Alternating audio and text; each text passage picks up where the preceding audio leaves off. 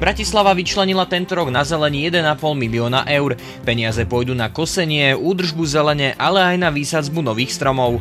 Chcem, aby sme robili veci po novom a preto vás rád informujem o tom, že som pripravil systém opatrení, tzv. zelený balíček, ktorý začneme implementovať okamžite. Magistrát plánuje vytvoriť tým odborníkov, ktorí budú pripravovať plán starostlivosti o zeleň. Primátor deklaroval, že za každý vyrúbaný strom v meste vysadia dva nové.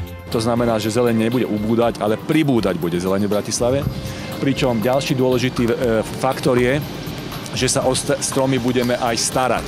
Nie len ich vysádzať, ale budeme sa o nich aj starať, pretože jeden z príčin e, doterajšieho zlého stavu je, že sa o to nikto nestaral.